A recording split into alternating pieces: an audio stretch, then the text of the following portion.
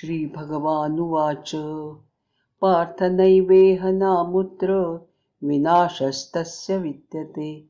न हि कल्याणकृत् कश्चित् दुर्गतिं तात गच्छति।